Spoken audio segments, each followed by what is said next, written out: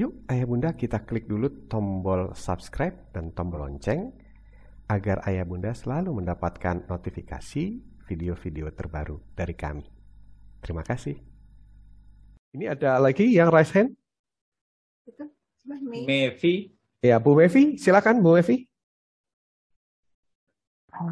Ya, eh, em, selamat sore semuanya.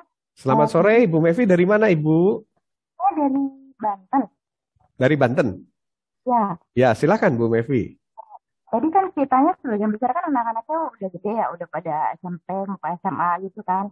Ya. Nah, kalau itu ada batasan umurnya nggak sih? Gimana maksudnya? Apakah memang ini anak ini mau ke sekolah nih? Apakah memang dia males kah? Atau memang dia nggak suka sekolah? Atau dia nggak suka sama teman-temannya? Atau tuh batasan umurnya di mana gitu loh pada saat kita bisa mematakan oh ya memang kita harus ngelakuin hal yang lain atau apa kita pindah sekolahnya dulu gitu. Kebetulan anak saya itu baru kelas 3 ya, baru kelas 3 SD. Jadi di TK dia pertama kali masuk TK tuh umur 5 tahun. Gue happy anaknya. Terus kelas 1 mulai nih karena kelas 1 mulai pulang jam 12 siang kan, dia mulai komplain kok lama ya. Nah, habis itu masuk pandemi lah, masuk pandemi. Masuk pandemi itu dia agak-agak agak-agak happy lah. Karena kan eh, sekolah dibatasi hanya tiga kali zoom sehari kebetulan sekolahnya dia. Nah terus habis itu mulai masuk sekolah biasa lagi. Kan kebetulan sekolahnya dia sudah mulai open tiap hari ya. Itu dari jam setengah sembilan sampai jam satu. Nah itu mulai tuh anaknya tuh. Jadi yang kata dia bosan di sekolah yang capek cuman suruh duduk dengerin miss-nya yang eh, ya gitulah sampai akhirnya saya ngalah ya udah eh, online aja di rumah kebetulan masih boleh online. Nah, tapi setiap kali ada mata pelajaran tertentu yang apalagi udah jam-jam terakhir tuh anaknya mulai dia mulai yang nanti nangis lah dia bisa tahu tuh nanti saya lihat dia udah rebahan di lantai di bawah meja. Terus eh, ada yang pernah sampai apa ya ya pokoknya kayak anak-anak frustasi lah pukul-pukul meja gitu loh. Nah itu apakah memang anak-anak yang nggak cocok sekolah atau memang gimana ya apa karena efek pandemi doang nih seperti itu ya Baik, baik. Ya, sudah kami tangkap pertanyaannya. Mungkin Pak Joko atau Bu Joko bisa sharing pengalaman mungkin Mas Mas eh, Rian, Mas Yuda juga akan tidak sekolah itu usia berapa itu mulai tertarik tidak sekolah ya, bukan tertarik sekolah. ya itu tadi eh, Bu Me Mevi itu yang um, apa SD kelas 3 ya? Iya, anakku baru kelas 3. Kelas 3. Sebetulnya eh, kalau pengalaman, tetapi barangkali ini kasuistik ya, tidak bisa di-generate. Tapi ketika Yuda itu yang paling kecil, itu kelas 5 sudah menyatakan dirinya mau ikut kakaknya, itu pengalaman bisa memutuskan profesinya lebih awal ternyata. Jadi ketika dia bisa merdeka belajar, itu ternyata bisa secepat untuk memutuskan bahwa saya saya berani mengatakan saya adalah sebagai arsitek ya, Ya, Desainer. waktu itu arsitek. ya. desainer, desainer. Dan ketika desainer itu dia bertanggung jawab dan waktu itu cari sekolahan yang bisa menerima. Bahkan di universitas ada ada klub untuk mendesain latihan desain bagaimana buat gambar gitu.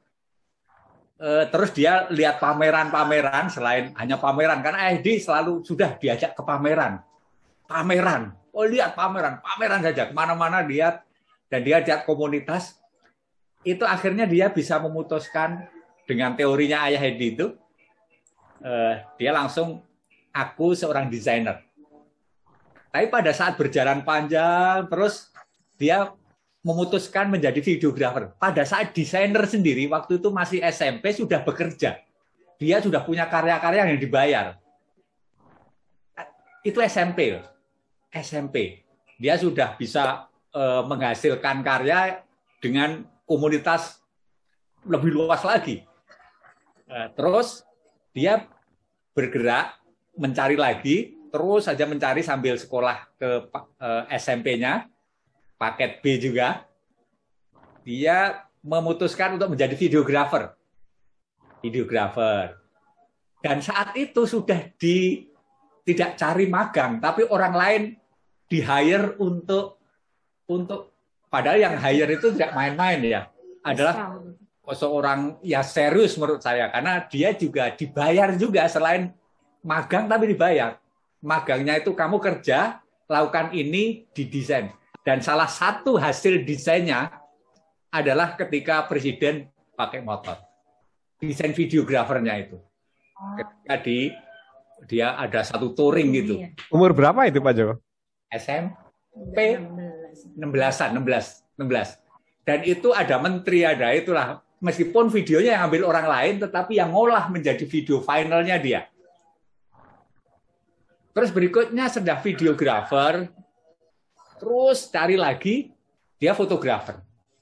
Nah sekarang keterampilan videografer, desainer, dan sebagainya, dia sudah menunjukkan bahwa aku adalah seorang manajer.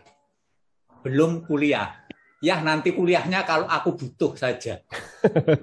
Tapi dia udah pegang manajer dari dua. Meskipun dia happy naik motor ke kampusnya, ke sekolahnya, eh bukan kampus, ke kantornya gitu. Dia happy. Meskipun di situ babak belurnya lebih serius lagi. Kalau diceritakan itu berdarah-darah juga, Mbak. Jadi tidak happy-happy begini. Kami tetap sabar, ingat pesannya Ayah Edi. Gitu aja.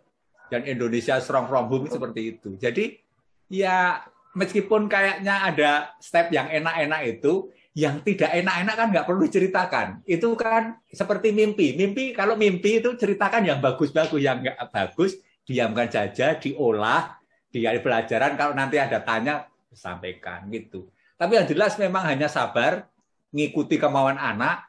Kalau dia anak mogok, justru menurut Ayah Hedi kalimat yang selalu menggelitik kami ketika anak mogok itu justru Tuhan memberikan petunjuk yang terbaik. Ayah, Pak, hebat Pak Ayah Hedi itu, Pak. Ayah Hedi gimana sih kalau anak mogok kok petunjuk Gusti Allah. Tapi benar, setelah saya ikuti berkali-kali, belum lagi yang yang kedua, yang kedua juga gitu. Yang kedua itu masih full lah.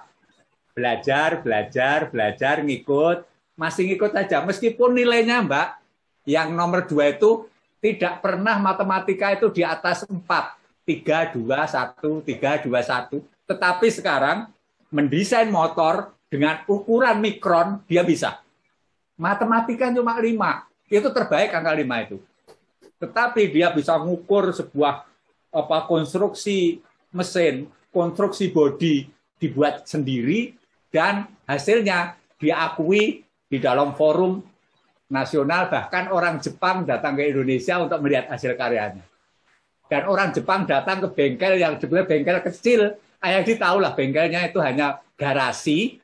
Bahkan tadi kan di yang foto itu sebenarnya bekas dapur itu. Kami terpaksa mundur kalau pulang pulang dari kantor itu, saya harus cari tempat gimana yang tidak ada kunci, tidak ada oli. Saya masuk ke rumah kami itu seperti loncat karena di situ berantakan semua. Tetapi menurut ayah Hedi waktu itu, kalau rumah berantakan berarti anakmu itu hidup katanya. Tapi kalau rumahmu rapi, berarti rumahmu itu sebetulnya eh, apa ya, kayak kuburan katanya. Luar biasa ayah Hedi itu. Jadi ketika di kami nerima tamu itu di bengkel berantakan tuh ayah di senyum. Saya yang getir. itu Bu, jadi kalau seandainya umur berapa tidak bisa digeneralisir tapi kasuistis. Silahkan eh, apa ya? Intinya kalau menurut saya pengalaman ketika Andri SMA, Mas Rian itu SMA, SMA. SMK itu ya dulu SMK. Ya Terus Yuda itu kelas 5, kelas 5 SD ada kecenderungan semakin cepat semakin baik. Ikan sepat, ikan gabus, semakin cepat semakin bagus. itu itu itu kira-kira. Jadi gitu gitu. Jadi ya tetapi kami tidak mendikotomi sekolah dan non dan homeschooling. Sepanjang sekolah menerapkan paradigma yang teorinya Ayah Edi lakukan sekolah saja. Tetapi kalau sekolah masih dengan periode apa paradigma lama jangan. Tetapi kalau sudah terjun ke rumah seriuslah untuk menjadi pendidik seperti Ayah Edi tadi. Saya mulai serius, tapi ya itu terlambat memang. Tapi tidak ada kata terlambat karena ternyata masih tertolong lah Mas Andri bisa lanjut. Yang bidangnya akademis kita dorong sampai akademis yang keterampilan kita dorong keterampilan menghasilkan yang kayak itu. Ya sekarang contohnya yang ekstrim ya Bu Mei ya.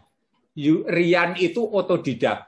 Dulu ayah Hedi itu eh, pesannya satu ya waktu itu. Satu itu waktu ada kalau nggak salah pernah diajak Rian itu diajak ke Smart FM. Ditanya sama Mbak Nancy, Novo Mbak. Ginta siapa? Nancy, Mbak Nancy. Ya, ditanya, kenapa Mas Rian suka lowrider? Dia cuma ngopong, saya cuma pengen kayak yang di Amerika itu, Harley, Harley Davidson. Sekarang Bu, dulu hanya sepeda mo- sepeda. Dulu ayah itu kalau ini dari golf kok sepeda. dari golf kok sepeda. Tetapi belajar sepeda dulu waktu ditanyakan apa ya, kayak Harley, sekarang ngerjakan motor Harley dia itu. Meskipun bapaknya nggak punya Harley, tetapi sering nyoba di belakang itu. itu kira-kira. Jadi ya itu tadi. Sebaiknya kalau memang itu mogok, itu itu teorinya adalah petunjuk ya, petunjuk Gusti Allah, petunjuk Tuhan. Tuhan memberikan petunjuk anakmu mau dicarikan jalan yang benar. Gitu kira-kira. Jadi jangan takut kalau mogok ya atau nggak mau sekolah atau yang tetapi kalau sudah begitu serius menjadi orang tua serius jadi istilah ayah itu tariklah keluar anakmu ke rumah kembalikan ke rumah karena basic pendidikan ada di rumah itu ayah Edi mohon maaf hanya mengkut kata-katanya ayah Edi saja Oke, luar biasa.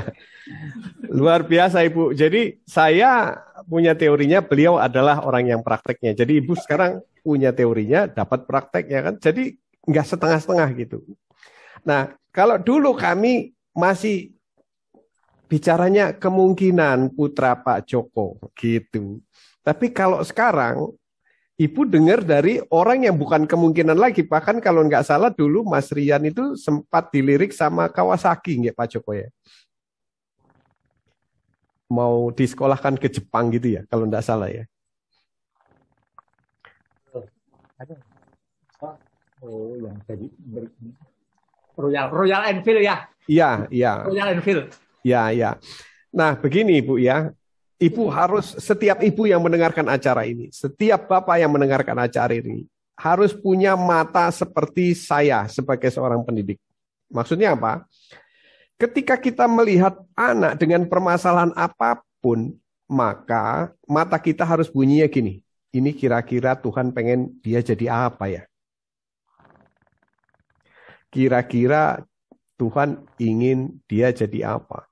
Ketika Mas Rian waktu itu tidak mau sekolah, lebih sukanya ngoprek-ngoprek sepeda, saya katakan, oh mungkin dia nanti jadi pengusaha sepeda. Retro, saya katakan. Terus habis gitu naik tingkatannya ke motor, saya bilang, oh mungkin nanti dia akan jadi pengusaha Harley.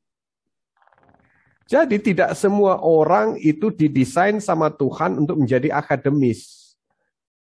Nah, ada anak-anak yang memang didesain dari sananya sama Tuhan memiliki kemampuan alamiah bawaan lahir untuk menjadi pengusaha. Makanya saya sebenarnya ingin sekali tetap bertetangga sama Pak Joko supaya bisa saya dampingi Mas Rian seperti dulu saya mendampingi Mas Andri.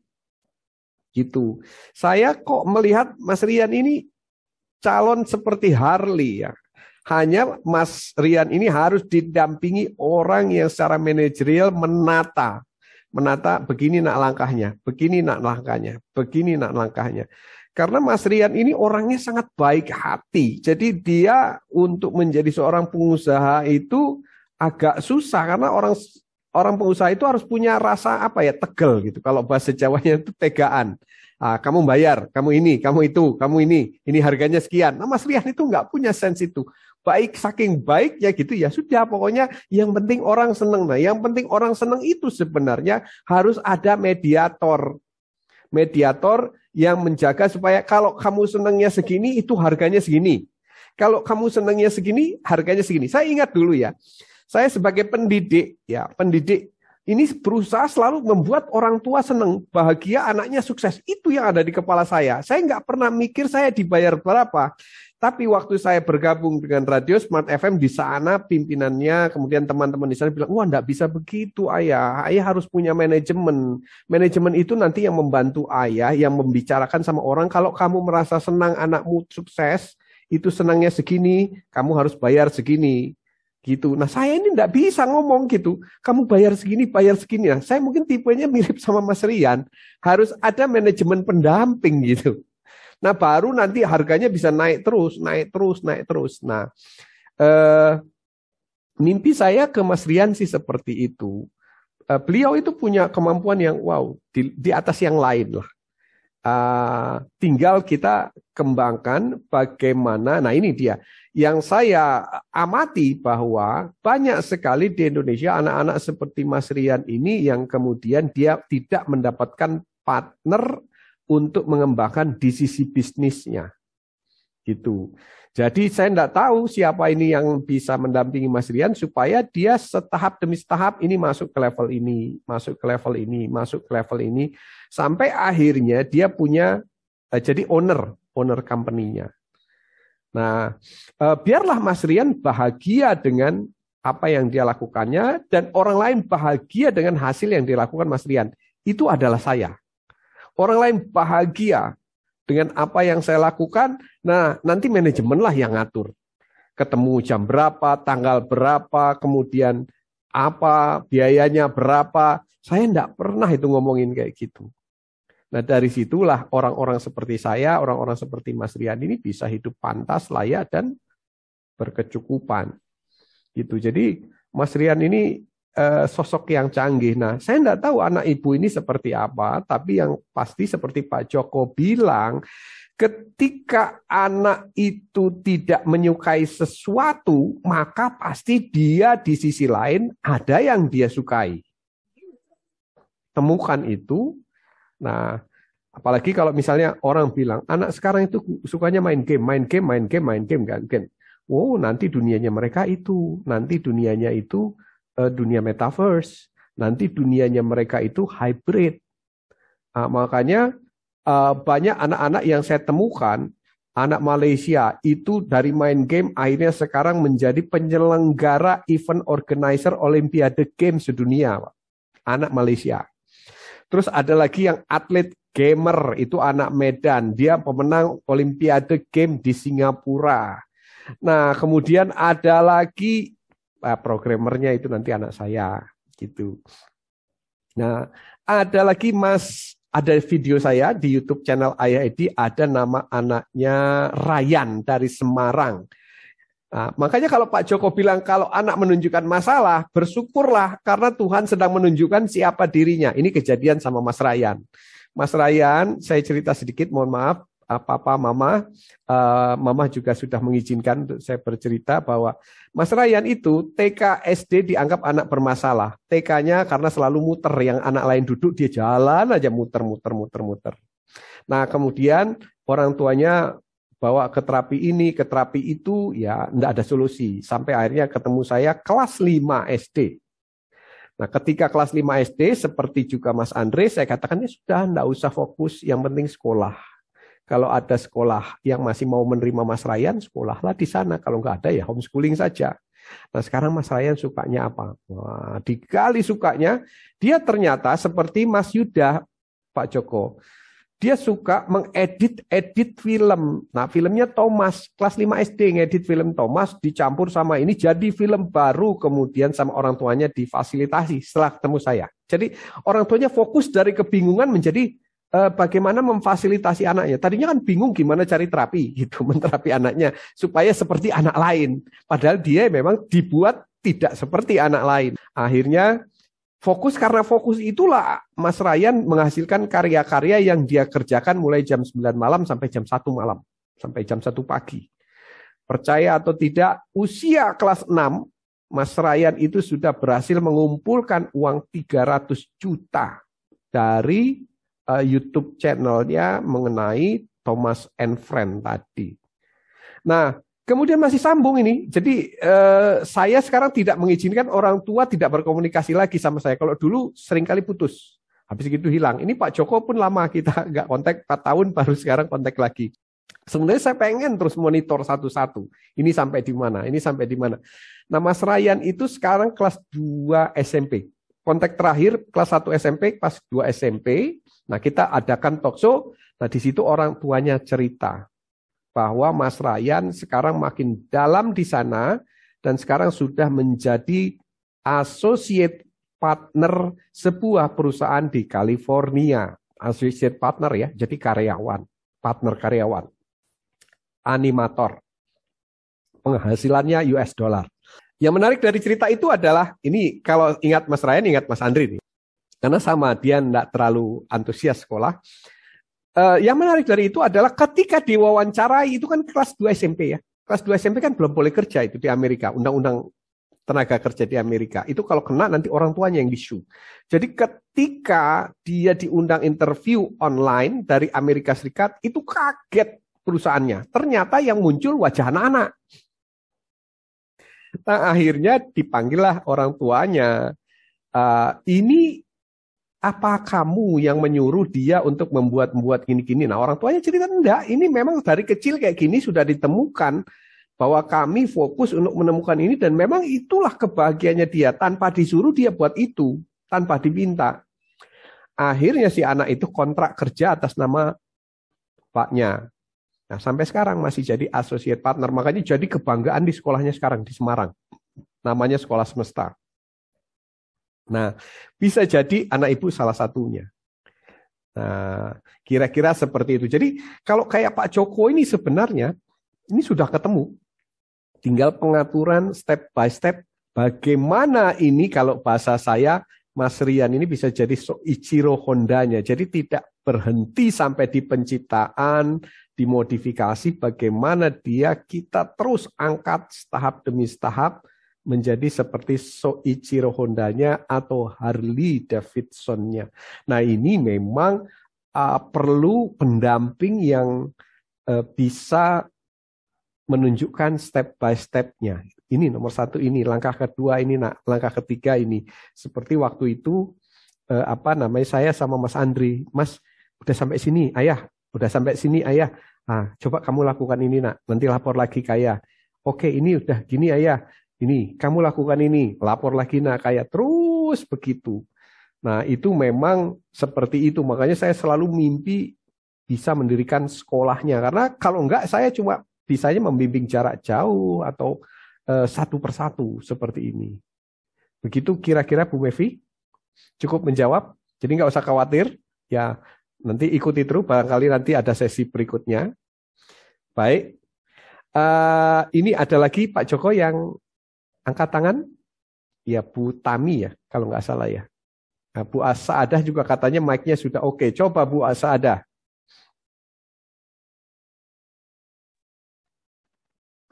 Selamat siang, Ayah Edi. Selamat siang, Bu Asaadah. Monggo. Uh, Alhamdulillah bisa bertemu dengan Ayah Edi. Uh, seperti ibu-ibu yang lain, anak saya lagi mengalami musim pancaroba kelas 3 SMP.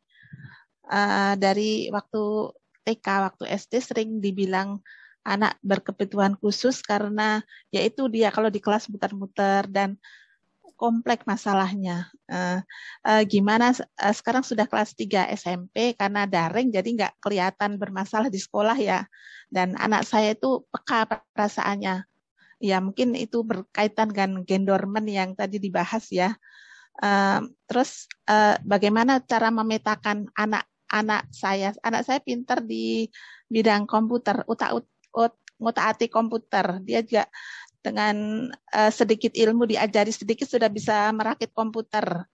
Uh, jadi step-stepnya gimana biar dia itu bisa uh, sekolah di luar negeri, biar bisa mendapatkan beasiswa. Sementara akademisnya biasa-biasa saja.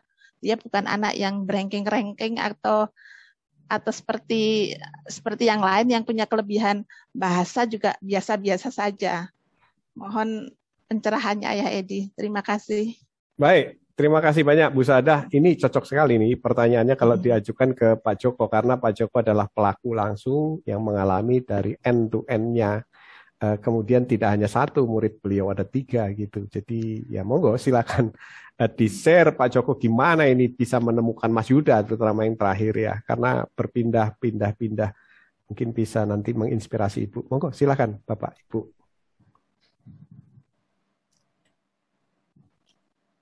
Uh, masih di mute Pak Joko?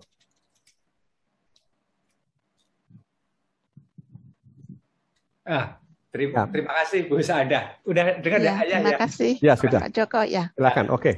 Jadi ini persis kayak Yuda.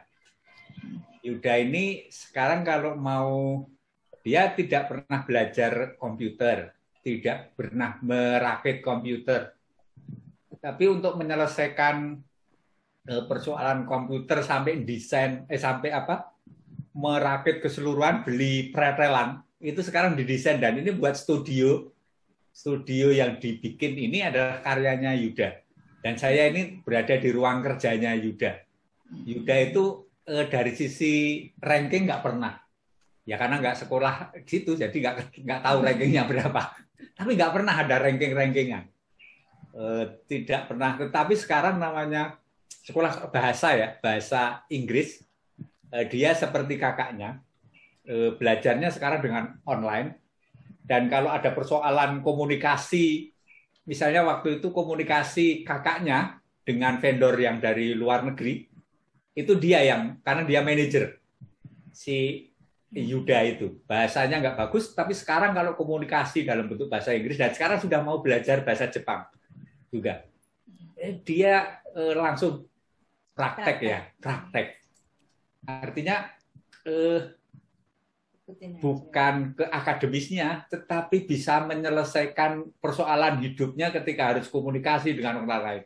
Salah satu hasil komunikasinya adalah eh, hasil karya fotografi di bidang motor itu. Dia sudah masuk dalam buku. Nah, buku yang dicetak para fotografer dunia dari Eropa, Amerika, Australia dan itu komunikasinya dalam bentuk bahasa Inggris. Dia tidak lagi ranking-rankingan, tetapi dia bisa berkomunikasi dengan baik. Dan bahasanya, menurut saya, justru saya kalau bahasa komunikasi dengan teman-teman di para peneliti, saya dikoreksi sama Yuda dari bahasanya. Nah itulah eh, apa ya, kalau kalau dikatakan nggak ranking-rankingan, ternyata ranking-ranking itu nggak penting. Ya perlu sih, tetapi kenyataannya kok tidak ya? Tidak ya sementara ini dalam kehidupan nyata ranking tidak me, menentukan keberhasilan seseorang setelah saya saya alami ini. Tetapi kalau di bidang akademis is oke. Okay. Contoh Mas Andri itu dulu ya ranking-ranking tapi ternyata juga tidak mendewakan ranking karena ujian ujian menjadi master dan calon dokter itu yang ditanya kamu bisa apa sih? Kamu bisa apa? Kamu akan melakukan apa?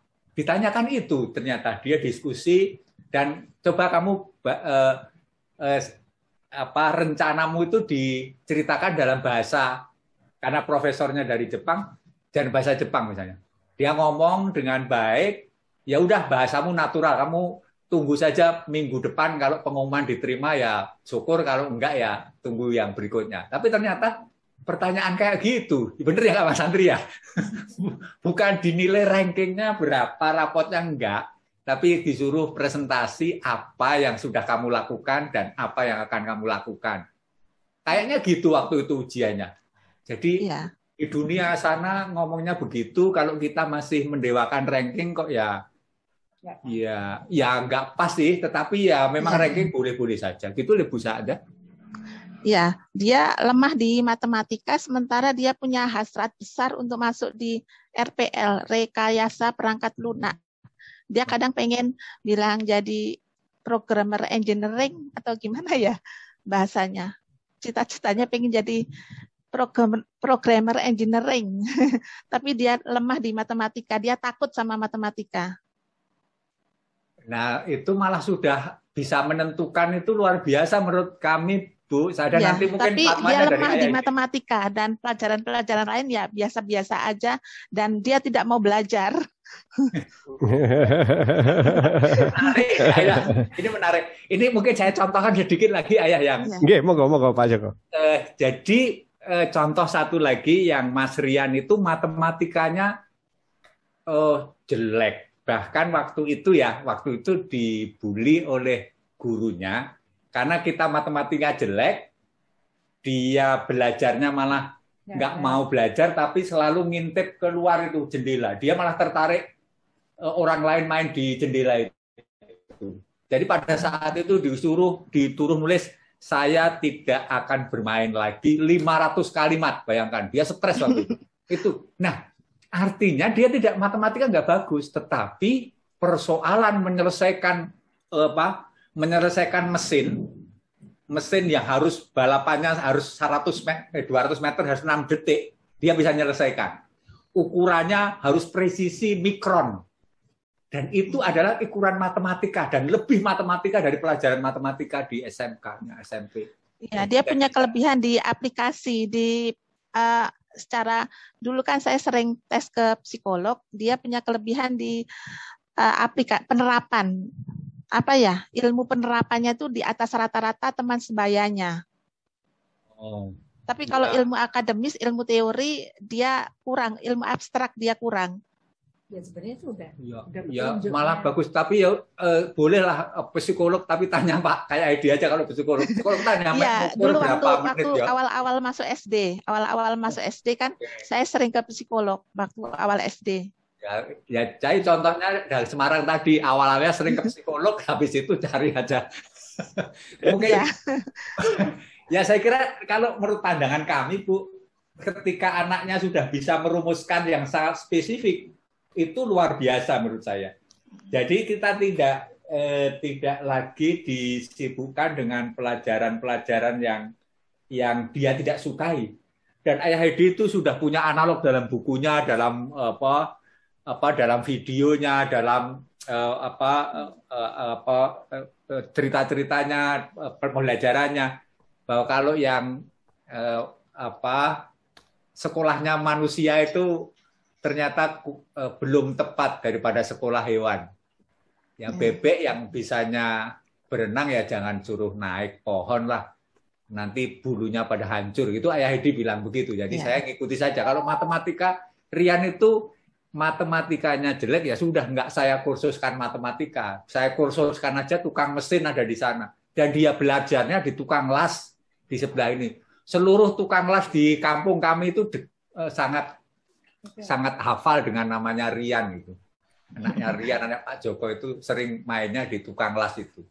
Dan dia bisa mengukur presisi, ngelas dengan baik, dan sekarang mesin lasnya dengan kualitas yang sangat bagus. Saya juga nggak tahu kok bisa mendapatkan apa apa jadi memang prakteknya. prakteknya dengan orang-orang itu.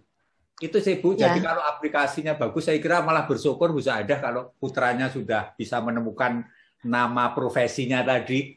Itu Ya. Cuman masalahnya dia tidak percaya diri. Misalnya saya kasih ke SMK, dia STM ya dulu namanya. Sekarang kan SMK. Dia nak eh, misalnya ditaruh di SMK yang bagus, yang ada RPL-nya seperti keinginannya, dia apakah saya mampu gitu. Ya dia nggak percaya dirinya apakah saya mampu gitu. Mengingat dulu dia waktu SD pernah tinggal kelas. Jadi apakah saya mampu dia nggak nggak pede. ini Bu persis itu seperti Mas Rian. Saya itu curhat email ke Ayah Edi malam-malam jam nggak tahu jam 2 atau jam 3 itu. Sampai sholat saya email ke Ayah Edi curhat ketika anak saya Ditolak. ditolak di sekolah SMK yang bagus itu. Ditolak Bu, belum dibaca dokumen itu, ijazahnya belum dibaca, sudah Pak nggak cocok di sekolah ini. Masya Allah, belum dibuka. Ya saya langsung curhat ke Ayah di dalam bukunya apa ya. Pokoknya ada di nanti Ya. lihat bukunya Ayah Edi. Saya curhat itu malam-malam dan saya katakan bahwa sebetulnya nak kalau kamu nggak nggak diterima di situ, mestinya kan kalau baiknya itu ya dibuka lah, dilihat ya. Iya. Nah itu nggak dilihat langsung ditolak begitu saja, masya Allah. Karena nggak cukup.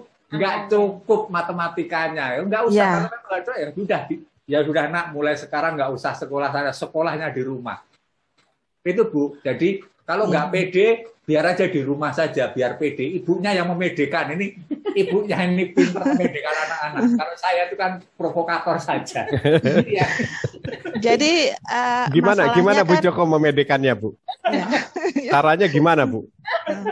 Ya, caranya kan apa namanya eh, kita membesarkan hati ya, karena kan sebenarnya tidak semua apa namanya anak itu kan sama gitu. Jadi masing-masing anak itu kan punya kelebihan. Jadi kelebihan kelebihan itu yang harus selalu Ya. kita asah, kita omongin, terus itu aja. Jadi jangan kekurangannya yang kita munculkan gitu. Nanti lama-lama dia akan pede gitu. Pede. Waktu eh, Rian itu memang dari kecil itu memang dia suka gambar kan. Memang secara akademis memang kurang ya ya, tapi dia eh, digambar terus membuat apa namanya visual kemudian Merangkai. merangkai satu apa namanya pasal-pasal itu cepat gitu loh. Jadi itu aja yang dia lakukan gitu dan kita dorong gitu loh. Jadi sebenarnya orang tua lah yang harus membesarkan anak itu, membesarkan hatinya ya, membesarkan hatinya sehingga dia akan pede. Oh aku bisa, aku bisa. Itu terus aja. Dulu waktu kecil itu kan kalau apa saya memang nggak pernah ngelesin anak-anak. Jadi eh, saya semua yang apa yang megang lah istilahnya. Nah, ketika belajar itu Andri, Rian mau tes gitu.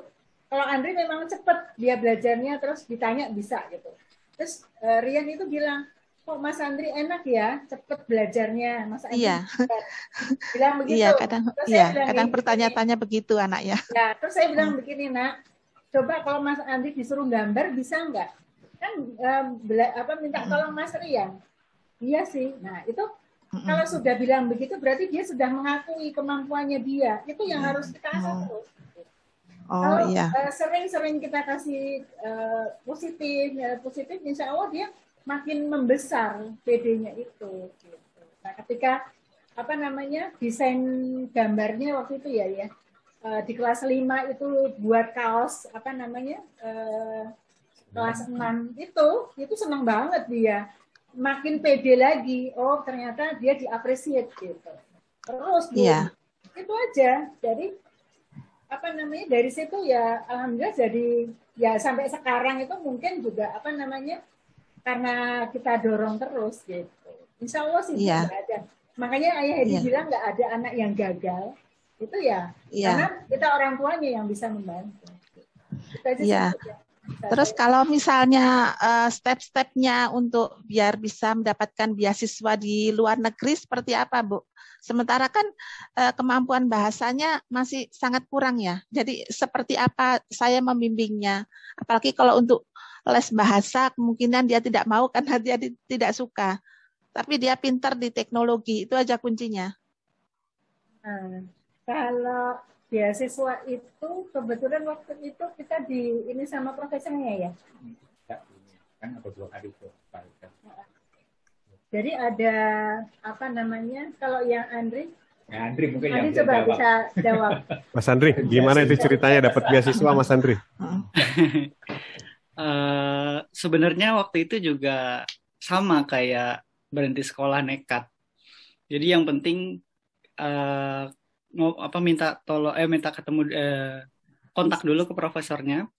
Terus saya kontak ke profesornya, saya langsung kontak juga ke universitasnya langsung. Terus dari universitasnya dibilang eh, coba langsung kontak ke profesornya apakah beliau mau menerima kamu di labnya dia. Terus eh, setelah komunikasi dengan profesor dan eh, dan apa namanya dan dari pihak kampusnya, terus diuji secara online waktu itu masih pakai Skype. Jadi saya diminta untuk eh, mempresentasikan apa saja eh, penelitian yang sudah kamu lakukan dan nanti begitu sampai di Jepang mau mau melakukan penelitian apa. Uh, setelah presentasi itu akhirnya dari profesornya bilang uh, um, tunggu uh, keputusan dari kampus uh, kalau dari saya saya uh, sudah menerima kamu gitu. Ya, untuk mencari Eh, informasi beasiswa di mana, Mas? eh, jadi setelah saya eh, keterima di sana itu saya masih belum keterima beasiswa sama sekali. Selama setelah diterima itu sampai satu bulan, lalu dari pihak kampus bilang kalau eh, ini ada ke- ada buka untuk eh, beasiswa eh, buat kamu karena saya waktu itu ditanya sama profesornya, "Eh, kamu mau ke sini pakai biaya apa? Terus saya bilang, eh, saya mau pakai biaya sendiri. Eh, kalau misalnya bisa dapat beasiswa, saya ingin pakai beasiswa. Terus eh, karena waktu itu belum ada beasiswa, lalu dari pihak kampus menghubungi saya kalau ini ada beasiswa yang bisa di-apply. Eh, ada dua kandidat, eh, dan waktu itu saya yang kepilih untuk eh, untuk dapat beasiswanya itu. Dan kebetulan dapat beasiswanya itu pengumumannya adalah tiga hari sebelum saya berangkat. Jadi sebelum sebelum sebelumnya itu eh, biaya pesawat eh, itu masih biaya sendiri waktu itu. Oh, Pertama kali untuk mencari informasi itu eh, sekolah yang tepat itu seperti apa? Yang tepat dengan keahlian si anak. Kalau dari saya, kalau dari saya, eh, saya lihat profesornya waktu itu. Eh, Kira-kira profesornya ini eh, punya eh, punya keahlian di bidang yang cocok dengan saya atau tidak. Jadi eh, waktu itu kebetulan profesor yang sekarang membimbing saya itu memang eh, di bidang apa eh, kelautan dan beliau juga sering eh, penelitian di Indonesia. Jadi waktu itu eh, pilihannya itu aja atau yang satu lagi juga ada saya hubungi juga cuma beliaunya bilang eh, dia dari universitas lain bahwa kalau penelitian kamu ini eh, bukan cocoknya ke saya kalau bisa cari eh, profesor yang lain. Lalu yang satu lagi yang sekarang itu dia bilang eh, ya saya cocok untuk membimbing kamu ya udah akhirnya saya eh, masuk ke bidang yang sekarang ini dibimbing oleh beliau. Ya, kalau untuk secara awam ya Mas, saya awam dengan dengan yang namanya beasiswa. eh, biasanya anak-anak itu mencari di mana ya? Di Google kah atau di mana ya? Maaf Iya. ya, saya belum tahu. Iya, eh, kalau pengalaman sepengalaman saya sendiri, eh, biasanya kalau Jepang eh, dari inter eh, bus biasanya ke Dubes itu mereka buka untuk eh, beasiswa dari pemerintah Jepang. Itu eh, Mombusho namanya. Itu biasanya setiap tahun mereka buka untuk eh, beasiswa. Waktu itu saya juga sempat eh, apply untuk ke sana karena tak eh, karena itu yang biasanya orang-orang cuma kebetulan saya nggak diterima mungkin karena saya waktu itu belum lulus S1. Jadi waktu saya sedang skripsian itu saya juga ujian untuk ambil eh, S2-nya itu kepada sa- dengan profesor yang sekarang membimbing saya. Jadi eh, jeda waktunya makanya waktu tadi di awal eh, ayah Pak Joko itu yang eh, yang ngambil ijazah dan ma- eh, maju ke depan untuk dipindah toganya karena un- Pakai joki ya, Mas? waktu ya, ya jadi joki karena waktu itu saya sudah keterima S2-nya duluan ketimbang wisudanya walaupun sudah lulus kan sudah ada sudah ada eh, sudah ada ke- surat keterangan lulus Ya, kalau untuk S1 agak sulit ya untuk mencari beasiswa ya. Kalau dari lulusan SMK. Eh, kalau itu saya waktu itu belum sempat sampai ke sana, jadi Hmm. eh, belum nggak apa bukan peng, apa nggak berpengalaman di sana, jadi mungkin nggak bisa menjawab. Cuma eh, kalau S1 makanya kebetulan saya ambil di Indonesia dulu, baru setelahnya ternyata dan S1 di di Indonesia terutama saya waktu itu di Bali ya. uh, dia kebetulan uh, sister school dengan uh, sekolah di Jepang oh. jadi saya juga kebetulan ambil cuti setahun pas saat kuliah untuk uh, pertukaran pelajar waktu itu di sana oh. jadi menambah juga pelajaran uh, bahasa Jepang jadi uh, mungkin juga jadi nilai plus bagi profesor saya yang sekarang kalau apa oh. karena saya juga bisa berbahasa Jepang Ya. Boleh sedikit Terima bahasa kasih, Jepang, Mas, Mas Andri? Konnichiwa. Sekarang sama Desta. Ah, okay. uh, soalnya udah ini dari sini kecium kok wanginya Jepang ini.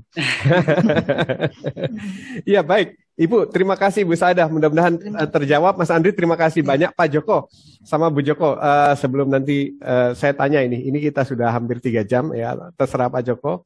Kita mau sudahi sampai di sini atau enggak. Tapi saya sebelum lupa ini ya saya mendapat uh, apa ya uh, semacam insting ya atau katakanlah lanjutan dari Mas Rian. Jadi Mas Rian ini seperti tadi saya katakan dari dulu saya percaya bahwa dia adalah seorang ahli seperti Soichiro Honda. Dia hanya menciptakan, menciptakan, menciptakan atau menciptakan service apa pun namanya dia adalah pencipta, creator. Nah, untuk lanjutannya kok saya melihat pendampingnya ini adalah adiknya sendiri. Ya, jadi Mas Yuda, Mas Yuda itu sudah memberikan kode-kode loh. Kode-kode dia mengambil dua manajer itu tadi ya. Jadi dia memberikan kode. Ini nggak main-main Pak, ini kode Pak. Jadi saya ini pembaca kode ya. Jadi setiap membimbing anak itu saya selalu membaca kodenya apa ini dari Tuhan. Tadi saya mengamati megang dua manajer di usia 17 tahun ya Pak ya. Atau 19 sekarang. Sekarang dua-dua. Oh, sekarang sudah dua-dua. Jadi Nun Sewu ini ya, seandainya seandainya nanti mohon didiskusikan dan dipertimbangkan, Mas Yuda sepertinya perlu melanjutkan ke jurusan bisnis.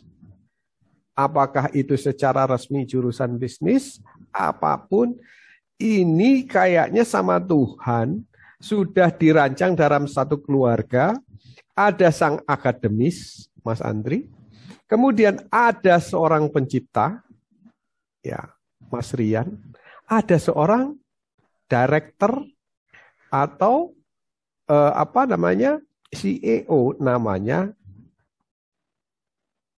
ya Mas Andri. Eh sorry Mas eh, Mas Yuda. Nah Uh, saya saya nggak terlalu dekat sama Mas Yuda karena jarang ketemu, saking sulitnya ketemu. Nah inilah ciri-ciri calon CEO, biasanya begitu sulit sekali ditemui. Nah, saya melihat ada ciri-ciri di sana ya, Mas Yuda itu orangnya uh, analis, kemudian detail, terus dia self-started, nah, kemudian pandangannya itu tajam, nah, dia pemikir, nah, kemudian ada lagi eh, dia itu nggak mau mengerjakan sesuatu kalau nggak dia mau atau yang perlu-perlu aja gitu. Pokoknya yang perlu-perlu, yang penting-penting buat dia. Eh, saya nggak tahu ini kalau dipasangkan, ya dipasangkan ini akan jadi luar biasa. Jadi eh, ketika tadi saya dengar Mas Yuda sekarang pegang startup itu adalah bisnis masa depan. Nah hanya memang Mas Yuda kalau boleh ini ke depannya tidak otodidak karena takes time. Ya, Takes time. Jadi mulai diarahkan untuk masuk satu jurusan bisnis. Bisnis yang betul-betul praktikal. Saya tidak tahu nanti kampusnya ada di mana, tapi yang saya tahu ya contoh menurut saya ya yang baru saya tahu loh. Ciputra itu juga praktikal bisnis. Ya, Ciputra Surabaya Ya, jadi nanti kalau main golf bisa ke Taman Dayu ya. nah, Ciputra Surabaya itu dia praktikal. Jadi dari awal saat kuliah dia sudah diminta untuk create bisnis. Kemudian kalau di Jakarta itu binus, tapi kalau yang di negeri saya belum tahu yang seperti itu. Kalau saya dengar ada di ITB. ITB juga sekarang ada bisnis ya. Bisnis yang praktikal, bahkan dia ada double degree Pak Joko, double degree. Nah, double degree-nya ini nggak tahu. Kalau kemarin kawan saya anaknya ngambil di sana itu juga Rizky namanya, itu juga kami bimbing ya, dapat di sana itu double degree-nya ke Jerman. Nah kalau Mas Yuda ini nanti bisa double degree ke mana pun ya. Kalau bisa ke Amerika sih ke Amerika karena eh, antara koneksitasnya Mas Rian dengan bisnisnya itu larinya ke Amerika. Nah, kalau sampai ini nanti ada kebetulan-kebetulan seperti yang terjadi pada Mas Andri, di Mas Yuda, maka menurut saya tahapan berikutnya sudah dapat manajer dia, sudah dapat calon CEO. Dan orangnya nggak jauh-jauh adalah adiknya sendiri. Dan saya percaya bahwa duet ini, duet ini akan seperti duetnya Elon Musk. Pernah dengar namanya Elon Musk? Dengar tapi belum belajar ya ini. Ya, Elon Musk itu berduet sama adiknya. Ya, jadi Elon Musk lah yang ngambil jurusan bisnis Pak Joko, adiknya itu yang ngambil jurusan programming komputer. Mereka berdua berkolaborasi di bawah pimpinannya Elon Musk. Cuma ini posisinya kalau Elon Musk kebalik. Oh. Ya, kebalik ya. Jadi Mas Yudanya adalah Elon Musk-nya. Nah, kemudian Mas Riannya adalah adiknya Elon Musk.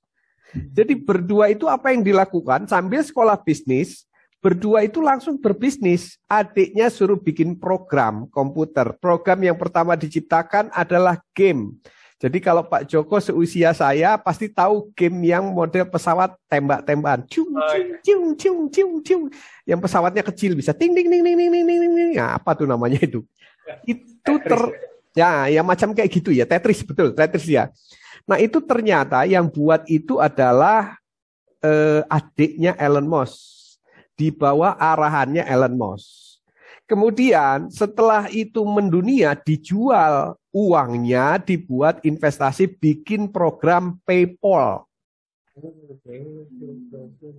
Ya, PayPal itu alat pembayaran online pertama. Jadi sebelum ada Dana, sebelum ada apa sekarang itu eh, GoPay dan sebagainya, PayPal dulu itu pelopornya.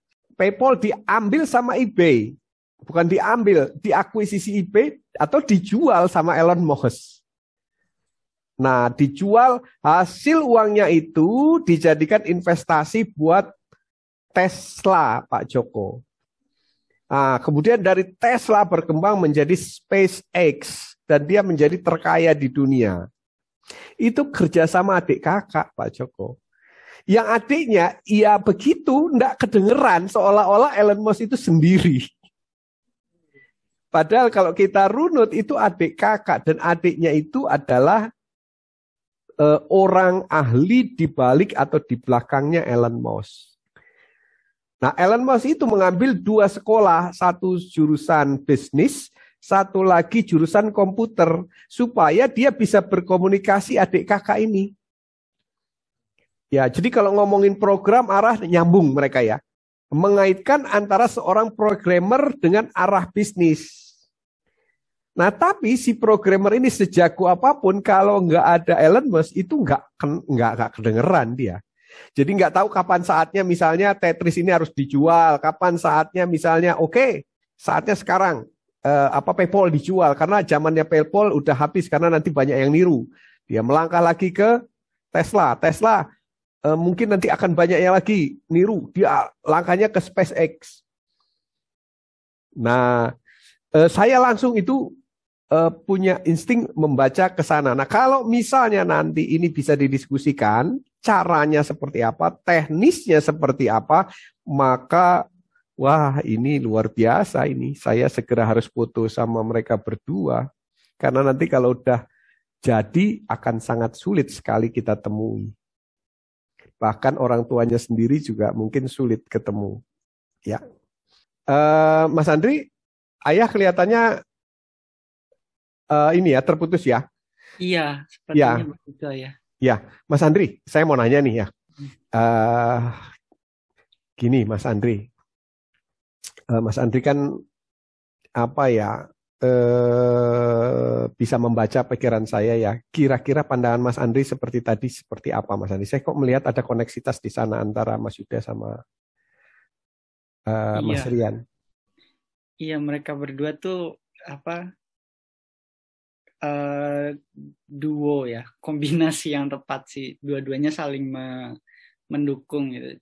Bahkan dari kecil tuh yang lebih kompak tuh mereka berdua dibandingin aku. Aku emang sukanya menyendiri gitu cuma ya. berdua ini memang suka dan apa cukup apa menggugah kayaknya tadi idenya ya Hedi kayaknya sih anaknya sih senang harusnya kalau di apa dikasih ide seperti itu. Ya, karena saya dengar tadi Mas Yuda kan saya mau sekolah kalau saya butuh. Nah itu kan kodenya. Kemudian saya coba baca ini kode ini arahnya ke mana gitu. Nah kok saya muncul tiba-tiba itu. Saya sering begitu loh. Waktu dulu bimbing Mas Andri juga begitu. Wah ini begini, ini begini, ini begini, ini begini. Gitu. Dan Alhamdulillah kebetulan demi kebetulan itu terjadi. Nah kalau kira-kira Mas Andri eh, cukup oke okay dengan ide ini, kira-kira nanti Mas Andri bisa nggak jadi bagian untuk eh, apa ya diskusi keluarga bagaimana langkah-langkahnya dan sebagainya. Mungkin Mas Andri bisa bantu informasi kah atau apakah? Karena ini eh, seperti ayah tadi bilang gitu bahwa eh, Mas Rian itu nggak nggak berhenti sampai di sini. Dan dia perlu seorang manajer. Dan saya katakan tadi bahwa saya nggak tahu manajernya siapa tapi lama-lama saya ingat lagi oh iya ya eh, Mas Yuda kan gitu dan sekarang dia sudah menunjukkan bahwa saya ini calon CEO, makanya dia pegang misalnya jadi manajer ini, manajer ini. Cuma saya percaya bahwa seperti juga Mas Andri, kalau otodidak pasti lama prosesnya. Gitu. Jadi lain kalau misalnya dibimbing secara terstruktur oleh sekolah.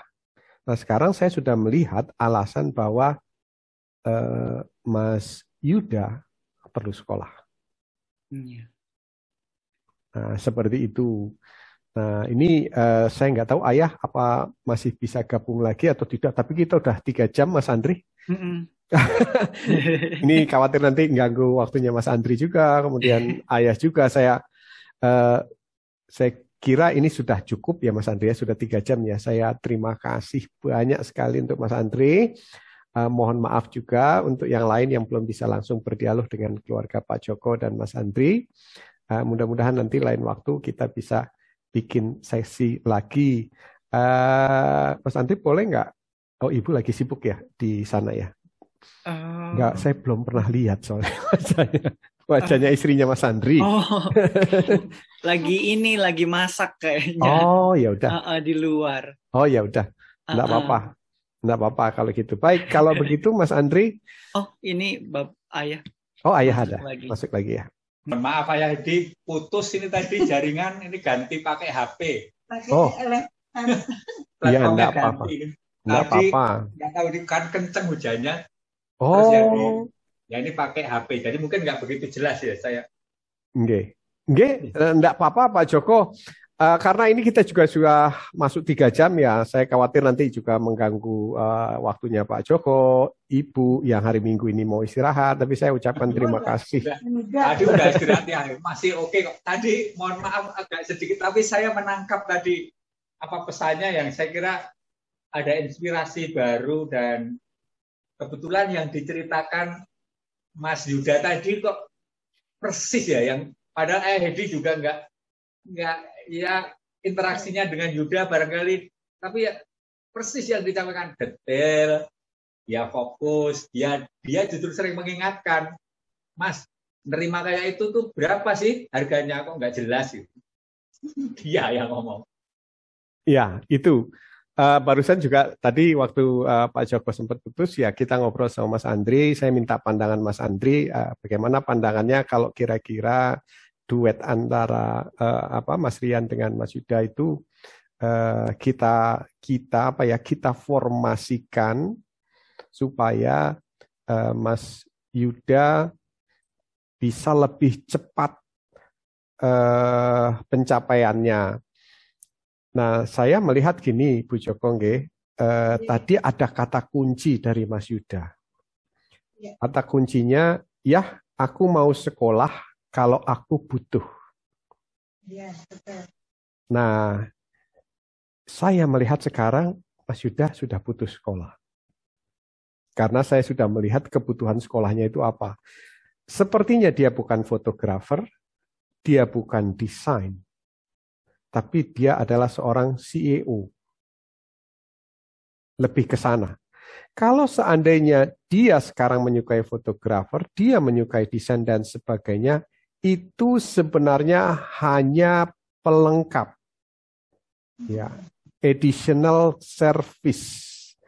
Artinya ketika dia nanti belajar tentang ilmu bisnis, dia sudah tahu bagaimana bisnis itu diaplikasikan di dunia fotografi. Artinya bagaimana membuat iklan yang baik, angle sudut yang baik, dan semuanya.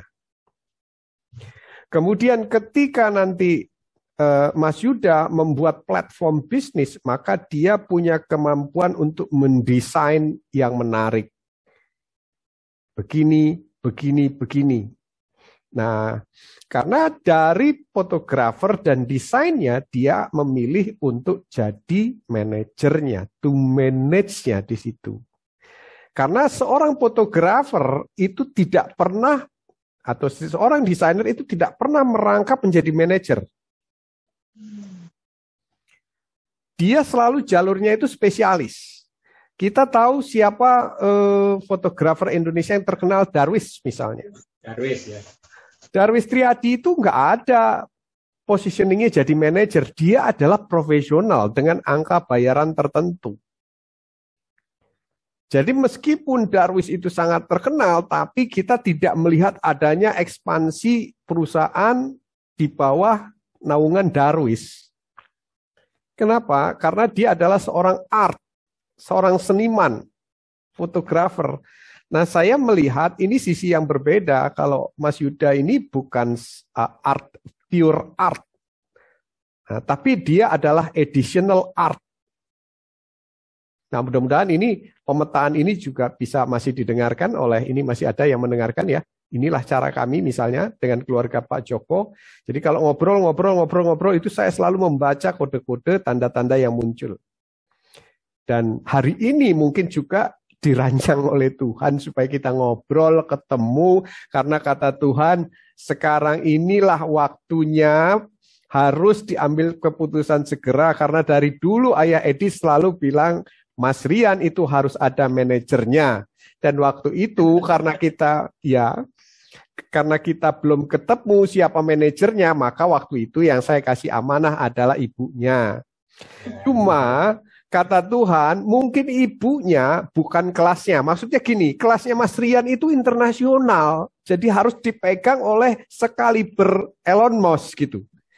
Nah, ibunya mungkin bisa gitu, bisa untuk mengawali, menata sampai awal, tapi mungkin kalibernya tidak cukup untuk mengangkat Mas Rian ke level internasional. Begini contohnya.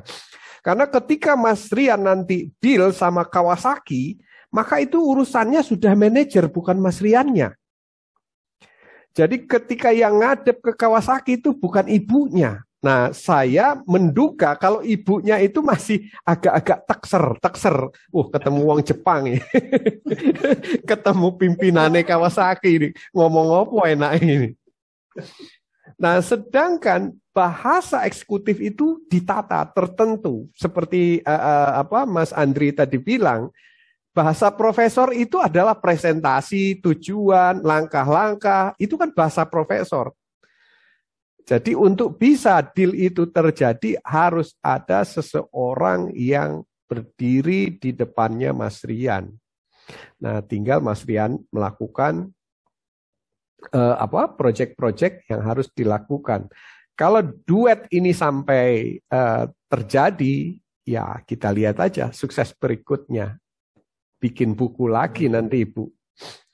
Nah dari obrolan saya sama Mas Andri, Mas Andri cerita katanya, dan saya ya nggak apa-apa ya saya ceritain ya Mas ya. Kata Mas Andri, kita ini bertiga sebenarnya kalau bicara lebih akrab itu Rian sama Yuda itu lebih akrab daripada sama saya gitu katanya. Nah, mereka berdua kayaknya lebih saling cocok gitu. Nah, mungkin ini terjadi karena Mas Rian itu tipenya adalah creator, ya, science creator seperti Thomas Edison. Uh, sementara Mas Andri ini adalah tipenya akademis. Nah, mediatornya itu sebenarnya adalah eh, Mas Yuda. Cuma Mas Yuda kenapa tidak terlalu dekat dengan Mas Andri karena Mas Yuda itu butuh orang yang seperti Mas Rian, bukan seperti Mas Andri. Ya, dia kan creator yang siap untuk di manage. Nah, Mas Andri ini bukan siap untuk di manage. Jadi, nah makanya nggak terlalu klop gitu. Nah, Mas Yuda ini adalah seorang CEO yang ingin memanage orang. Nah, nah, jadi kalau misalnya Mas Yuda bicara ini gini gini gini gini ya, kalau Mas Irian ya mungkin bayangan saya, oh iya iya iya, oke oke oke, gitu kan reaksinya. Nah, kalau Mas Andre karena analisanya kuat, oh nggak bisa juga gitu. Yud, gitu nggak bisa gini Yud. Oh, kata Mas Yuda ini nggak cocok ini. Uh, nggak pernah ada yang kebetulan. Pak Joko ketemu saya dulu nggak kebetulan dan kita semua ketemu juga nggak kebetulan. Mungkin hari ini tujuannya adalah untuk itu Pak Joko. Dan tanpa terasa kita sudah hampir tiga jam dan bisa jadi Ya, bisa jadi bahwa inti dari semua pertemuan kita ini berempat adalah untuk memulai babak baru perjalanannya Mas Rian dan Mas Yuda. Anggaplah Mas Andri sudah selesai. Gitu, udah selesai. Kurang apa lagi?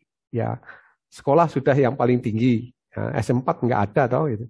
Nah, terus uh, sudah punya istri, sudah punya anak, ibaratnya kalau orang Jawa bilang tugas sebagai orang tua ya sudah selesai. Nah tinggal untuk yang dua ini gitu. Nah insya Allah sih saya percaya seperti saya dulu percaya sama Mas Andri ini akan kejadian lagi. Amin. Amin. Nah, cuma saya mohon doanya gitu. Sebenarnya Pak Joko, saya itu sering ngomong sama anak saya. Nah, ini buka-bukaan rahasia ya sama tetangga kan nggak apa-apa ya. Sebenarnya saya itu suka bilang gini sama Tuhan, Tuhan, saya itu bisa nerbangin anak-anak orang. Banyak sekali yang saya terbangkan. Ya, tolong dibantulah Tuhan, anak saya sendiri bisa terbang juga gitu. Jadi, Allah ya, Nggak ya, sia-sia ini. Ya, jadi mohon doanya dari Mas Andre terutama yang sudah duluan terbang, kemudian dari Bu Joko, Pak Joko, dari Mas Rian juga titip salam, kemudian Mas Yuda juga, juga dari para orang tua semua yang hadir sampai tiga jam ini. Luar biasa. Terima kasih banyak. Semuanya. Ada yang ingin disampaikan Pak Joko, uh, Mas apa? Mas Andri, sebelum kita tutup acara ini. Mungkin Mas Andri duluan, baru kami ya.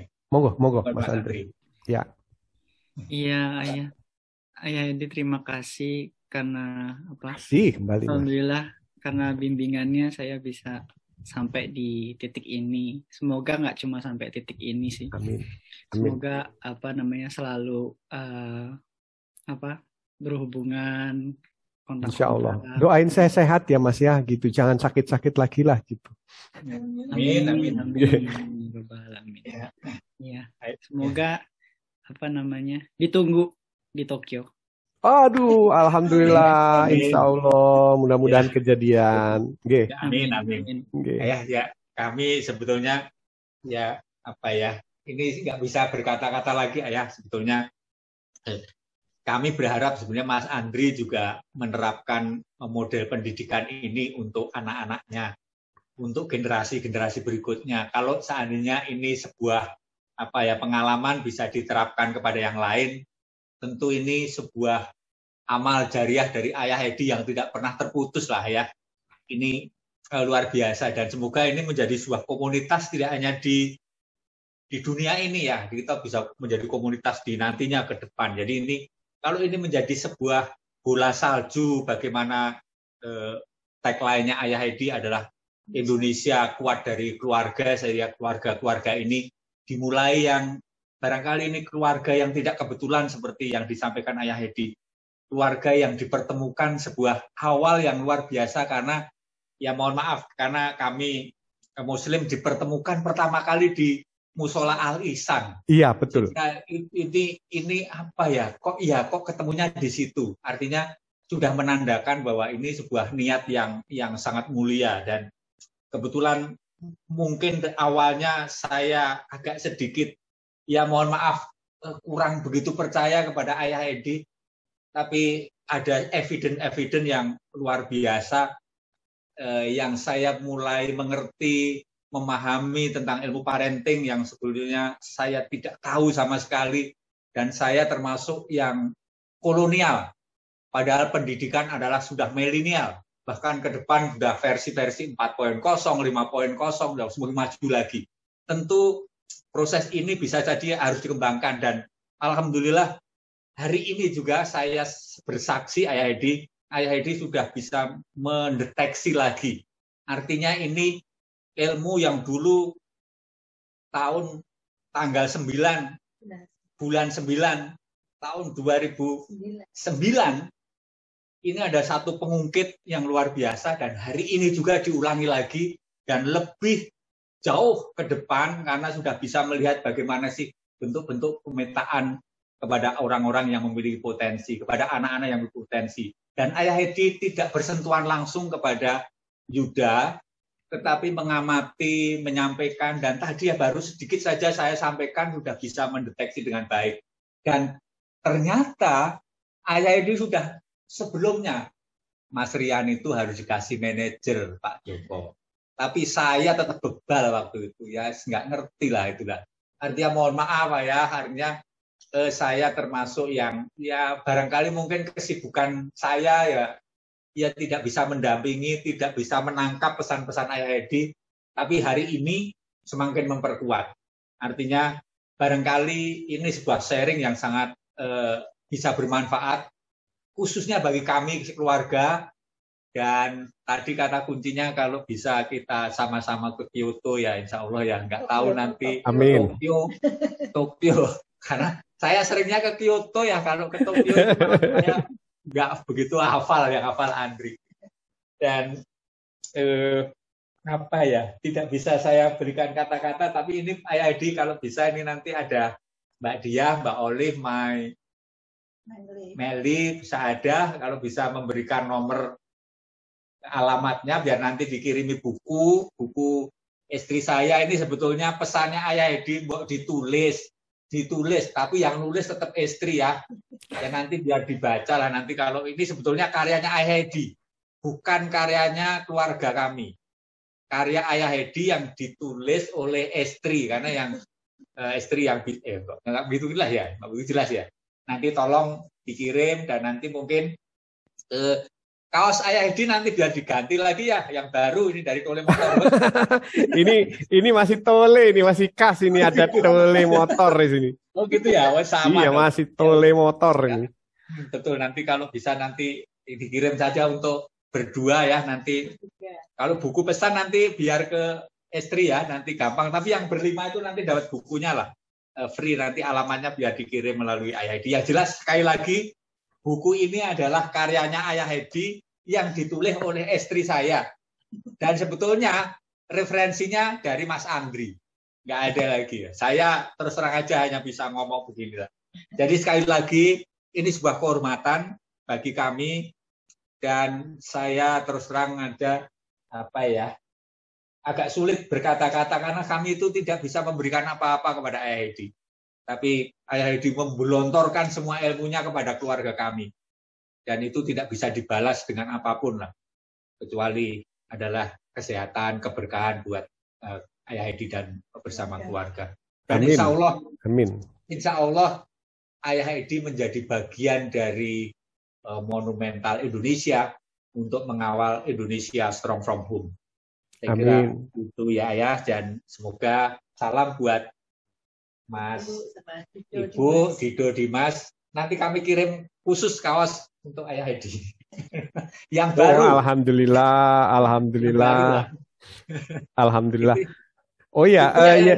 Inge, Pak Joko, uh, terima kasih banyak Ibu. Saya mau dengar dari Ibu ini. Uh, karena Ibu ini juga perannya besar itu. Uh, monggo silakan Ibu. Eh, aduh apa ya. Be, udah udah lengkap sebenarnya ayah cuman emang apa namanya benar-benar uh, tadi betul kata Pak Joko ini bukunya ayah Hedi karena saya hanya menulis menulis cerita anak-anak, tapi semua referensi dari Ayah Edi yang ilmunya kami terapkan untuk anak-anak. Jadi, uh, masya Allah, uh, apa namanya, kami hanya melaksanakan dan uh, takjub setiap hari, apa namanya, banyak kejadian-kejadian yang, oh iya, oh ini ilmu yang ini, oh ini yang ini, ini yang ini. Jadi kita mencocoknya, mencocokkan saja. Ternyata memang betul semua gitu ayah. Jadi kami sangat uh, bersyukur, sangat apa namanya berterima kasih kepada Ayah Edi juga keluarga yang bisa apa namanya mengantarkan kita seperti sekarang ini.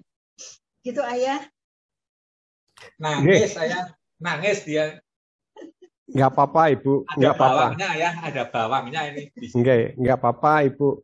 Eh, nangis itu berarti kita terhubung sama Tuhan, nangis itu berarti kita bahagia ya. Alangkah indahnya hidup ini kalau tangisan kita adalah tangisan bahagia. Dan saya sebenarnya tidak membutuhkan apa pun kecuali doa gitu ya. E, karena saya sempat berada di ambang batas begitu. Saya bilang apakah Tuhan mau panggil saya sekarang karena tugas saya sudah selesai atau saya diberikan izin untuk tambah usia karena usia apa namanya tugas saya masih panjang ya uh, sekali lagi saya juga nggak nyangka bahwa saya terbaring dua tahun full ya dua tahun full itu nggak bisa apa-apa. ada cerita ya, nggak ada, ada cerita ya. sama sekali. Yang tahu cuma keluarga kami, istri saya sama dua miss saya di Bali yang saya beritahu. Jangan saya bilang jangan cerita sama siapa-siapa gitu. Nanti cerita-cerita saya akan hadir kalau saya cuma dua, kalau saya pulang atau saya masih ada gitu waktu itu. Jadi saya pun nggak bisa waktu itu hadir di acaranya Mas Andri karena memang ya seperti itu. Saya juga nggak mau bilang bahwa saya begini-begini karena ini adalah apa namanya eh, saat-saat bahagianya Mas Andri, saat bahagianya Pak Joko. Nanti kalau saya ceritakan kondisi saya, ini akan mengganggu semuanya. Jadi lebih baik tidak ada cerita apa pun. Dan ketika saya uh, sudah merasa bisa tampil lagi, uh, saya undang di acara ini, Pak Joko. Dan saya ucapkan terima kasih banyak untuk doanya Pak Joko sekeluarga, Mas Andri, Mas Rian, juga Mas Yuda, serta ayah bunda yang mengikuti acara ini. Mudah-mudahan ini bisa menjadi berkah bagi kita semua. Dan ini nanti bisa disaksikan juga di YouTube channelnya Ayah Edi agar menjadi inspirasi bagi lebih banyak orang dan pahalanya juga mengalir untuk Pak Joko dan keluarga. Kemudian mengenai buku tadi saya terima kasih banget ya kalau diberikan apa namanya eh, dikasih satu gitu Pak Joko biar saya juga ingin baca gitu. Oh siap Pak ya nanti kita kirim. Ya, yang berlima tadi gimana ya? Yang berlima ini eh, nanti lewat eh, di alamatnya ya. kami kirim kami kirim lewat eh, ya penting alamatnya kayak ya. ya kiriman dari kami lah nanti. Ya. Ada Mbak Diah, Mbak Olive, My Life, sama Saada, sama satu lagi apa tadi? Oh berempat ya? Ya. Berempat ya. Yang berempat ini nanti tolong uh, eh, WA uh, ke nomor 0812. Di chat saya sudah tulis nomornya. Nanti tolong WA ke nomor tersebut. Uh, tolong alamatnya selengkap mungkin. Uh, berikut kode pos biar tidak ada nyasar, biar uh, tidak ada retur. Kalau memang betul-betul ingin membaca buku ini. Dan buku ini saya ucapkan terima kasih banyak sekali buat Bu Joko karena ini adalah mimpi saya sebenarnya yang dikabulkan oleh Tuhan melalui Bu Joko bahwa suatu saat Tuhan akan ada orang tua-orang tua yang langsung bercerita tentang kisah anaknya melalui bukunya. Buku itu bukan buat saya, buku ini buat bangsa ini. Ya, buku itu adalah legasinya Ibu Joko dan Pak Joko. Uh, tidak ada lagi saya kira warisan yang lebih baik daripada legasi pengetahuan kepada anak cucu kita. Sekali lagi saya ucapkan terima kasih banyak Mas Andri, Pak Joko, uh, Bu Joko, dan seluruh teman-teman. Salam untuk istri, terima kasih waktunya tiga jam ya. Uh, salam juga untuk anak. Ya, terima kasih banyak semuanya. Billahi taufik walidaya. Wassalamualaikum warahmatullahi wabarakatuh. Selamat sore dan salam sejahtera untuk kita semua. Sampai jumpa lagi. Bye bye. Terima kasih, terima kasih Mas Andri. Terima kasih Mas Andri, terima kasih.